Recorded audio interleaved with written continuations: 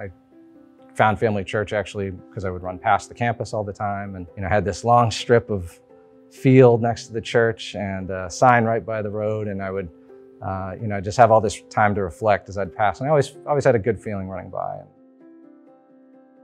We never really had the right church. We'd, we'd kind of jumped around. I think what got my attention to really needing to get back to going to church and, and I think it was my family and now having a son who was growing up and I had that foundation and I had I you know had found a way to Jesus but I wasn't giving that to my son. But as he was getting older and then he was asking questions that I was finding out that there was there was this big big empty hole and the world was filling it and and we needed to find a church. One weekend we woke up and it was just a, it was a hard week and we were, I just I said we're going to go try the church. We're going to give this one a chance and if not we'll we'll keep looking. We had gone to a lot of large churches and uh, you kind of walk in unnoticed and you walk out unnoticed and my first impression of the church, I thought it was just going to be another run by. Like that first day, oh, this one isn't that good. We're just going to try the next one.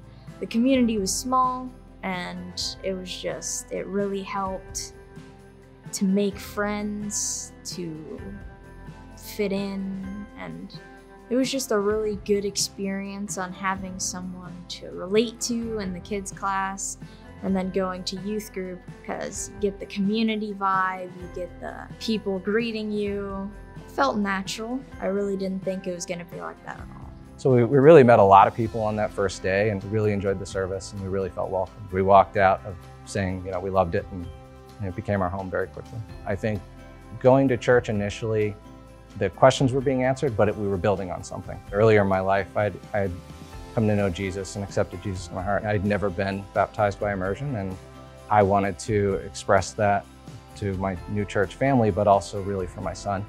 I wanted to be a good example for him and show him, you know, what it meant. And um, I think baptism had become more important to him as, as he realized uh, how important you know Jesus was and, and uh, the church was in our life. And he wanted to be a part of that. We were in the pool and I was really excited throughout the whole week and it was just amazing. I don't even know words to describe it. It was, it felt amazing. Our whole family serves at uh, Family Church Sherbrooke. My wife Tony, she serves with the kids ministry. My son and I help with the First Impressions team.